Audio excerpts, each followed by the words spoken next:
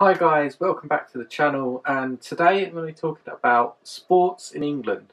Being from England myself, I am one of the few people, or maybe a lot of people, I know a lot of people I know only really like one or two sports. I like quite a lot of sports with our country involved and smaller teams. So, for example, in England we have cricket, football, rugby, and the list can just go on. There's tennis and badminton and hockey and so much more games, sports games that are played in England. But what I want to talk about is rugby because this can get confusing for other countries. Uh, we have two types of rugby which are completely different. We have rugby union and rugby league and the main area where it can come into is where you're from. Um, England sort of has the great north and south divide. I'm from the south of England, so I was sort of brought into rugby union a few years ago from a friend of mine. Um, and there's the north of England, what has rugby league, and let's just say the fans just don't get on. If there's a rugby union player and the rugby league player in one room, probably the rugby league player will be walking out and the rugby union will be brought out on a stretcher because them northern people are violent. I'm going to get a lot of hate for that, especially from one person, but I think I can get away with it. Um, basically, England and Australia, we both have the rugby union, rugby league, but I think Australia, you just call it football for rugby union because like America, you don't know that a football looks like this and a rugby ball looks like this. That is not an American football, that is what a rugby ball is. And my girlfriend is from uh, the area where rugby league is from. And when I started sort of talking to her a lot more and she told me that she was into rugby, I was like, hey, yeah, we got something in common. I like rugby, you like rugby. But she was rugby union uh, league, I'm rugby union, and there was that tense moment. But luckily, she's not a hardcore rugby fan.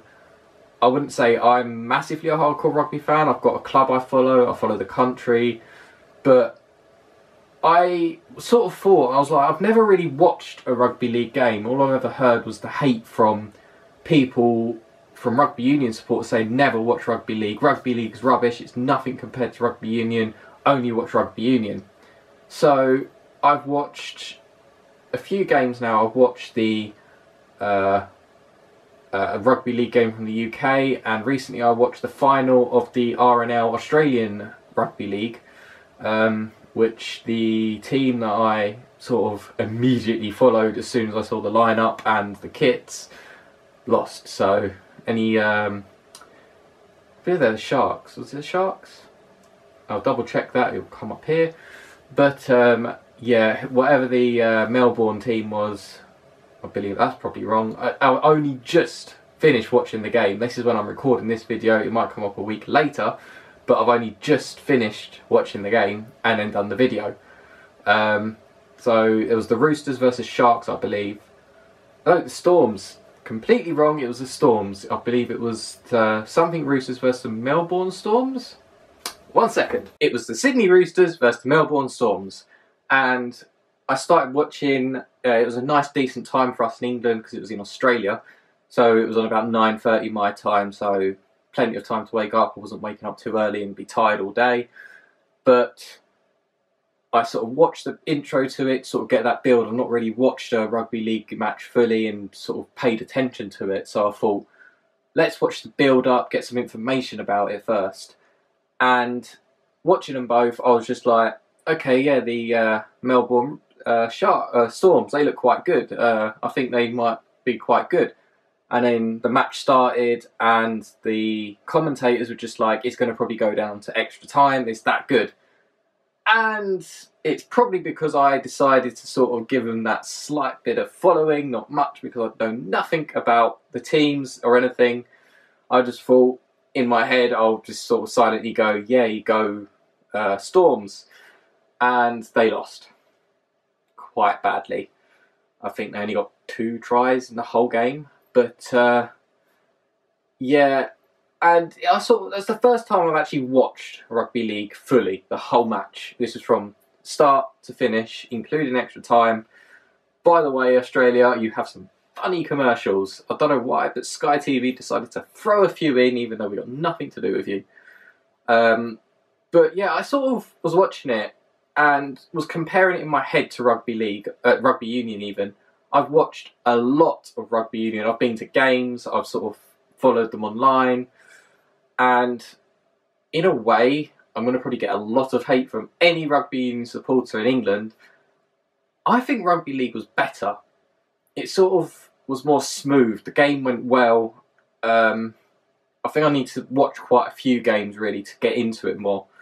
But that one game I've watched and sort of the half a game uh, beginning of the rugby league season in the UK, I watched a game uh, Huddersfield Giants versus someone else. I Can't remember. It was the only one on TV at the time, and I don't know why I didn't watch all of it. I can't remember. It was quite a few months ago now, but rugby league for me was sort of better, and I do want to sort of get into it a bit more. So I'll probably be looking online to the England uh, sort of when rugby league is on, watch a few games, get to know the teams, because one of the things I've always had with sports is I follow who my friends follow.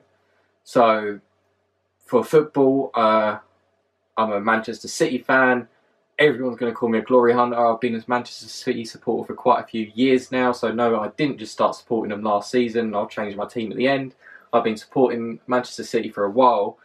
The only reason for that is because one of my friends from university decided to bring me to a Manchester City supporters group. I'd never really been into football before. I just sort of had a slight following, but a friend from university said, "Come along, you'll meet some people." It was miles away. This university, about 300 miles away from where I lived, so sort of introducing me that way, it was quite good. And yeah, I didn't stick with the university because problems. I'll probably go in a later video, but I sort of enjoyed it. Enjoyed the atmosphere. There's people talking about the same thing. When you are brought into loads of people supporting teams, Chelsea, Arsenal, Liverpool, Tottenham, Manchester United, Manchester City, Crystal Palace, it's you don't know what to go for. Like my family isn't sporty. Um, my mum and dad don't like any sports, so it's more of the people I know. So I don't really look into the teams much. It's more of I guess get pushed to one team from friends. With rugby league, uh, I'll even say with rugby union, I am a Leicester Tiger supporter. Again, I'm from London originally, so I should be a Harlequins or a Saracens fan. But the person who introduced me to rugby union was a Leicester Tigers fan, so automatically that's where I started going. He brought me through to a few meetings, he took me to a few matches. I really enjoyed it. I used to come in with no voice, it was a lot of shouting and a lot of fun. With rugby league, however, I don't know many people who are die-hard fans. Um, my girlfriend's not really a fan, it's more just a following. Um, but I want to sort of look at the teams. Um, again, both England, Australia. Don't know if South Africa have a rugby league or they're just rugby union. Um, but it's looking at everyone. It's not just looking at that one team that you're being pushed to. It's looking at what do you prefer? What does the tactics like? It's not winning really per se. Like you want your team to win, but it's how well they perform. At the end of the day, sports people are performers and they want to give the crowd a good show. It's not just, oh, we want to win all the time. It's does the crowd enjoy it? Now, I know people who have been supporters of football teams, rugby teams, cricket teams for many years, and their team has been doing terribly ever since they supported them. Hi, Fulham. And it's sort of what team do you most feel comfortable with? And I think that's with any sport. If you sort of just getting into sports, if you're just getting into football, it's called football. Here's a football, um, and not uh, like rugby or even American football. We really should have another name for that in England because America does it, we should too. But um, it's any sport. If you are just getting into a sport, if someone says about it and you think, oh, I'll check it out, look at all the teams. Don't just look at what your friend points you to. Don't just sit there and go, oh, he's a Saracens fan from rugby. I'm going to be a Saracens fan. Oh, he's a uh, I don't really a New England Patriot fan. I'm just going to go to New England Patriots. Look at the teams. Look at what you prefer. Look at the lineups. Some people have their favourite player, and then they develop through that. I think when I was younger, I made the mistake of having favourite players for football. Uh, and this is when I wasn't a massive football supporter, never really went to any games. And I, at the time, this was when Frank Lampard, John Terry, David Beckham were all playing. And a lot of the England players were from Chelsea, and my friends were Chelsea supporters. So for about a year, I spoke about Chelsea. And it just didn't last. And uh, ever since going to Manchester City, where I'm older and football's more of like adult conversation. When you're a kid, it's oh ha ha, it's a football team I like. We're going to follow them till blah blah blah. When you're an adult, football is more involved in your life. It's what you talk to people about. It's what people can get encouraged by to sort of speak to someone. Um, that's one of the reasons why I really got into football was to sort of be able to talk to more people at my college originally and university.